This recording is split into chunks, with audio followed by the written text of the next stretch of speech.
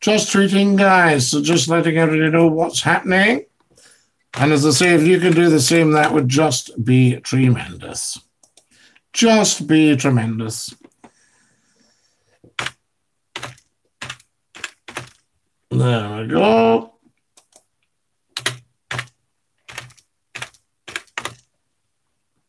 And there we go.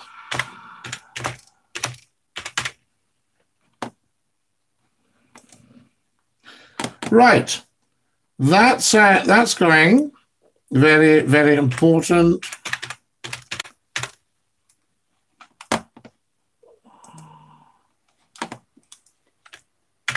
Oh.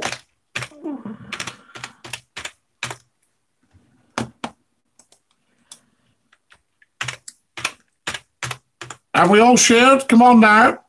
Share, share, share it, share. Share share it, share.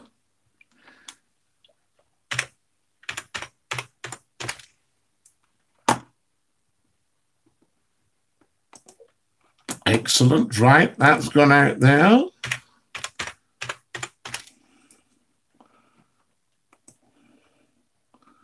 God, this is busy on here, I shall tell you.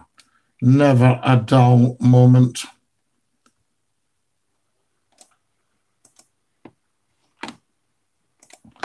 Right. Excellent stuff. That's the other tweet gone off, and that will just let people know what is what.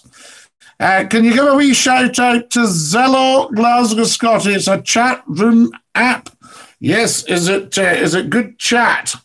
I went guising until I was told I was too old for it, says Louise. Was this uh, last year, Louise? You're never too old for anything, Louise. I'll tell you. Galatians are a book of the Bible, says Alistair Campbell. They are, but who were? I'm sure there was. Is it Galatians? Yes, we must maybe have to try and find this out. That's what I ask you. Should we try and find it out and see what's what? I remember uh, Sir Thomas, yes, the drinking for apples. Uh, so, where did raining cats and dogs come from? Who could tell us? Very, very important. Have you ever heard the expression time flies when you're having fun? We've been on here for 40 minutes. Now, it feels like I popped up two seconds ago. Uh, it's good, yeah, a lot of swearing, Scottie. Our Tom, we don't do swearing. We never do swearing. McClue doesn't do swearing. I block swearers. Yes, I block swearers on social media. Um, hi, Scottie. I'm not saying I'm a great saint and, and, and wouldn't swear, but not on social media because we're guests in people's houses. We never swore on the radio. You know, absolutely. We used one word which was called a swear word, and I got around for it, and we we're using it properly. So that should never ever have happened.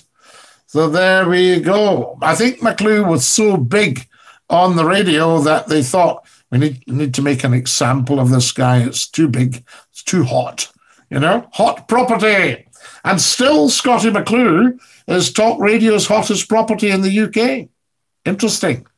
Yes.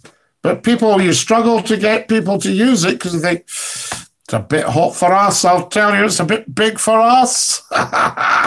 so they put on these guys that go, right, we're going to have a word with the Minister for Power in a second.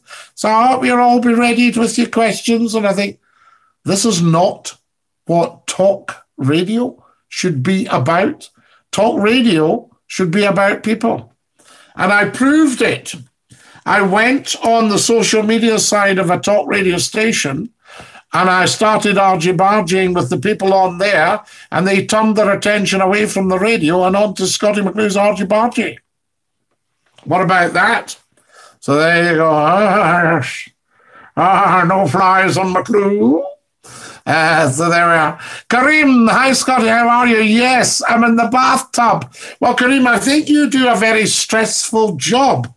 And I think that if you can relax in a hot bath and just take away the stress, why not? And if you're listening to McClue while you're doing it, why not? I say that's what it's all about.